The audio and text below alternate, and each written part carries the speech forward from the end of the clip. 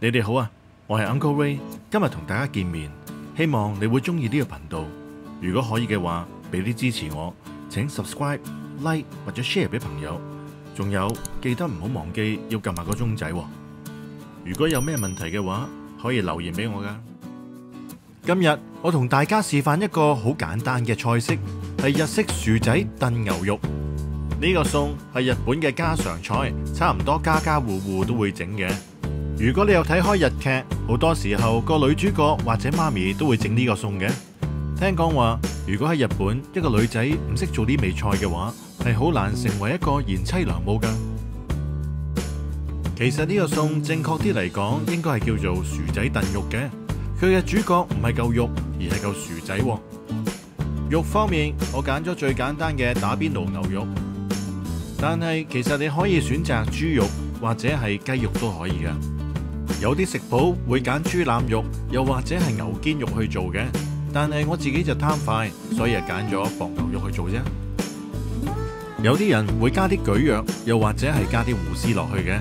但係我就保持最簡單嘅方法，即係肉、薯仔、洋蔥同埋蘿蔔啦。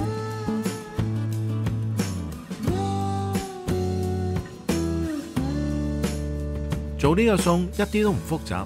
第一件事，我哋幫啲蘿蔔同埋薯仔批皮先。薯仔一批咗皮，好快就會氧化，會變到黑黑啡啡咁樣，所以我哋一批咗皮就要盡快擺佢落水度啦。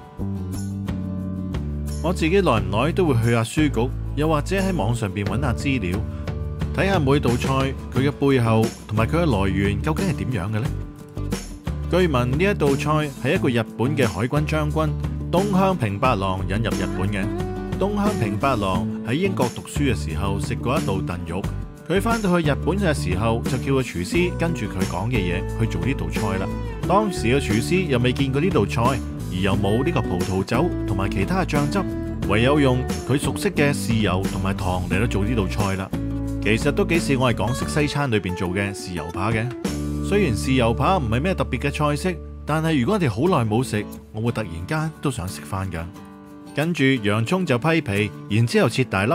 因為燉煮嘅時間都比較耐，所以洋蔥就唔好切得太細啦。如果唔係煮完，你會發現唔見晒啲洋蔥噶。蘿蔔滾刀切粒備用。跟住薯仔就要切大粒，千祈唔好切咁細。如果唔係燉煮之後乜嘢都冇晒噶啦。切完之後記得要等翻落去水度。如果唔係，到時又變晒色，唔好睇噶啦。揀嘅牛肉始終有翻啲油份好食啲嘅。如果唔係煮咁耐，啲牛肉會變得好鞋噶。牛肉大約切兩寸長度啦。當佢煮完之後縮咗水，大約變翻一寸度啦。我自己跟過兩三個師傅去學煮呢道菜，大家做嘅方法都略有不同。有啲就先炒菜，然之後先掉啲牛肉落去煮。但係我學嘅方法呢，就係先炒起啲牛肉。我覺得先炒起啲牛肉會香啲嘅。高火起鑊，等隻鑊熱咗先至好炒牛肉。仲要唔好一次過炒晒，要分幾次炒。如果個鑊同啲油唔夠熱，攞去炒，啲牛肉會出水噶。牛肉炒到半生熟，然之後裝起佢備用。跟住我加啲洋蔥落去炒香佢，然之後再加埋啲紅蘿蔔落去兜匀添。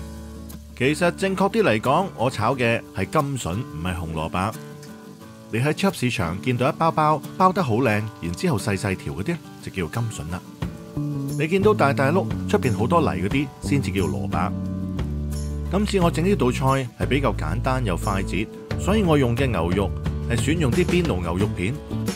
但係如果你揀嘅唔係用牛肉片，係用啲煮得比較耐嘅牛肉，例如牛肩肉切粒咁樣，就千祈唔好呢個時候擺啲薯仔落去啦。啲薯仔煮到爛晒，啲牛肉都未煮腍。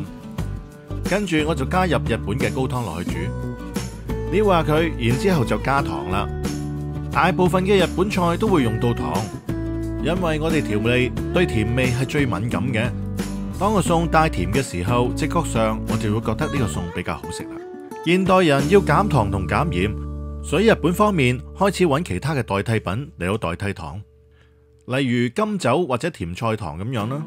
有機會我都會介紹下佢哋嘅用法嘅。煮一陣之後，我哋加入清酒或者系料理酒，再加入味淋，煮一陣之後就加入呢一個濃口醬油啦。如果你想知多啲有關於醬油嘅分類同用法，上边有條 link 你可以 k 入去睇一睇嘅。煮一陣，如果你見到有啲泡，就係咁一撈起佢就得啦。跟住我就加個烘培子落蓋落個菜度，慢火煮佢十五分鐘。有啲師傅會將啲牛肉喺呢個時候等埋落去，慢慢一齊炆佢。咁嘅做法就會令啲菜更加入味，因為佢哋覺得菜同薯仔先至係主角。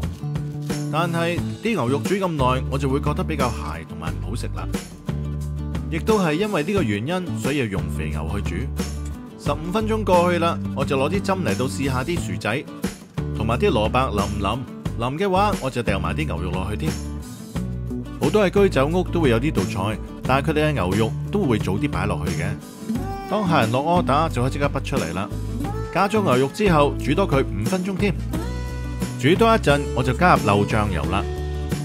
其實漏醬油有啲似我哋中國嘅老抽，但係個味道就比老抽鮮味好多啦。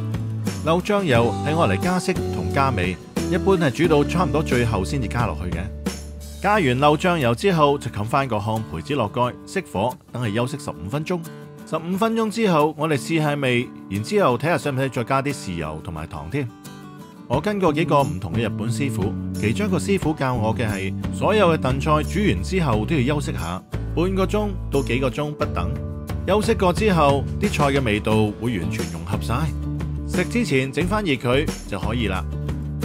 呢個薯仔燉牛肉就整完啦，係咪好簡單呢？希望你哋會中意啦。我係 Uncle Ray，希望你中意呢個頻道啦。如果你中意嘅話，請 like、subscribe、share 同埋撳埋個鐘仔添。多謝你哋嘅收睇，希望你哋多多支持我。希望好快我哋又再見面啦。